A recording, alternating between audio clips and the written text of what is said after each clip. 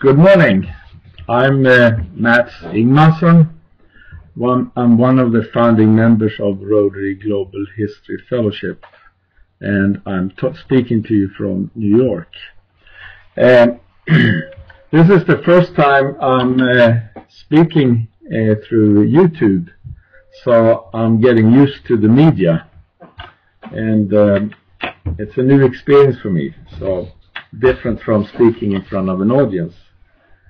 So, um, but uh, I took on this engagement because I thought it would be a very interesting challenge. It's a little odd to see myself in a picture at the same time as I'm speaking, so I kind of have to get used to it. Uh, the subject today that I was asked to speak about is uh, Rotary and the United Nations, and Rotary and UN Day. Every year, and the first week of November, uh, typically, uh, Rotary celebrates its UN Day, and that means that the leadership of Rotary International uh, gets together with uh, uh, Rotarians in New York and also from around the world to uh, discuss its relationship with the United Nations, and we do that together with the leadership of the United Nations. I probably should be looking up into the camera rather than looking at myself on the picture because as you can see that I'm looking down here. So anyway, that's uh, how uh, uh, Rotary came about. Now, the relationship with uh, the United Nations uh, goes back quite a while. In fact, uh, you may not know, but Rotary was one of the founders of the United Nations. And uh, what it started basically with uh, in 1943 when uh, Rotary sponsored a conference, and I'm reading here from my manuscript, a conference in London in November 1943 with ministers and observers from 21 governments. That group later began laying plans for what became UNESCO.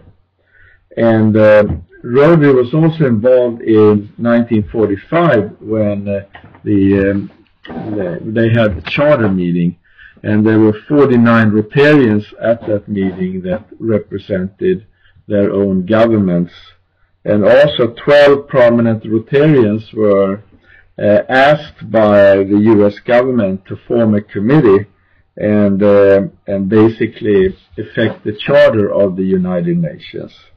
And uh, the Secretary of State at the time, Edward Stettinius Jr., uh, in 1945 wrote, and I'm uh, reading here, here is my manuscript, by the way. uh, the invitation to Rotary International to participate in the United Nations Conference is, uh, as, serve as consultants to the United States delegation, was not merely a gesture of goodwill and respect towards a great organization. It was a simple recognition of the practical part Rotary's members have played and will continue to play in the development of, of understanding among nations. The representatives of Rotary were needed at San Francisco, and as you well know, they made a considerable contribution to the Charter itself and particularly to the framing of the provision of the Economic and Social Council. Rotary's founder Paul Harris actually uh, was uh, thinking about uh, the uh, United Nations uh, after the League of Nations had collapsed, which uh, then resulted in the Second World War. I, when I was chairman of Rotary Global History Fellowship, which was from 2004 till 2006, uh, that was during Rotary Centennial, uh, and that was uh, which took place in 2005. And during the Rotary uh, convention in Chicago, we had a booth there, and uh, a retired professor, Rubina Leach, came in the booth and told me that she knew Paul Harris uh, when she was a 12-year-old girl. Uh, her, she grew up in northern Michigan, and Paul and Jean uh, used to rent a summer cottage there in the summer when it uh, got too hot to stay in Chicago. and she told me that uh, her father um, and had invited Paul and Jean to have dinner with them. Uh, they usually did, and uh, Paul Harris tried to convince her father to join Rotary, but he was never successful. But Rubina told me, little did he know that he convinced me. So when uh, uh, Rotary finally accepted women and, and her local Rotary club, uh, then she joined, and uh, which was in 1990.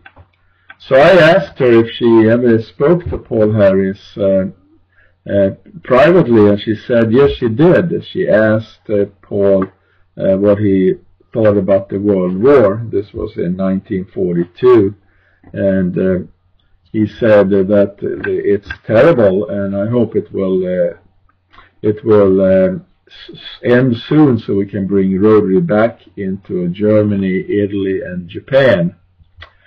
And uh, uh, and uh, I suspected already then that after that that uh, Paul Harris had played an important role in uh, the forming of the United Nations. Uh, Rotary was not the only sponsor, of course. The U.S. government, Franklin D. Roosevelt, Eleanor Roosevelt, were a lot of other also uh, of like-minded. But it's very interesting uh, that uh, we have discovered a radio interview with Paul Harris in 1946, which was uh, about uh, one year before he died. And he said there, there is a decided parallel between Rotary and the United Nations organization. It is my hope that in their deliberations the United Nations will follow Rotary's cue and approach each other with kindly considerations instead of with fear, distrust, and hatred. It is true that the way to war is a well-paved highway and that the way to peace is still a wilderness. But have the United Nations undertaken the impossible? I maintain they have not. My 41 years of promoting understanding and goodwill in the ranks of Rotary gave me the, gave me the courage to insist that the plan of the United Nations is not an idle dream. It is practical, and that given half a chance, it will succeed. Now, in 1946, the United Nations was only one year old. So it was uh, it was not given maybe a big chance of success. Now the United Nations uh, it was formed in 1945, so by it's almost uh, it's more than 75 years old now, and so we know we we take United Nations for granted, but the reality is that. Uh, Rotary is a bigger organization than the United Nations. We are 1.2 million Rotarians around the world, and we're in 200 different countries. So we're actually more countries than the United Nations. The United Nations may be, I don't know if there's 75,000 people worldwide, but I know that uh, the former Secretary General of the United Nations, um, Kofi Annan, told uh, Rotary uh, alternate representative uh, that uh, Rotary is a much bigger organization than the United Nations. And um, and uh, the United Nations have relied on Rotary a lot. Polio Plus is an example of that, of a cooperation between Rotary and the United Nations. There also there have also been uh, uh, peace negotiations between Rotarians in different countries uh, very quietly but very effective, for example, between India and Pakistan, or between Chile and Argentina, or between Northern Cyprus and Greek, Greek Cyprus. And now that we have a Rotary Club in Jerusalem with 50% uh, Palestinians and 50% Israelis, and we have a Rotary Club in Ramallah that was uh, sponsored by a Rotary Club in, in Jordan and one in Israel. Uh, I would imagine that Rotary is playing an important role in in uh, uh, maintaining uh, some kind of peace in the in in in the Middle East or in between the Palestinians and the Israelis. because Rotarians have always been uh, uh, committed to peace, and of course the theme this year, peace through service, I think is a very good theme for Rotary, and it uh, illustrates what Rotary has always stand for. For uh, Paul Harris always talked about that Rotary stood for tolerance and understanding, and uh, of course uh, we we did not uh, bar anybody from joining Rotary because of race, religion, and nationality. The rotary has always been open and uh, and to promote understanding.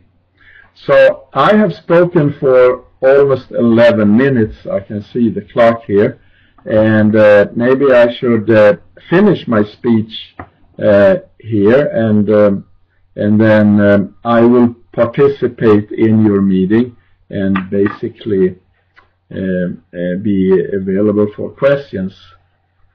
Uh, thank you very much.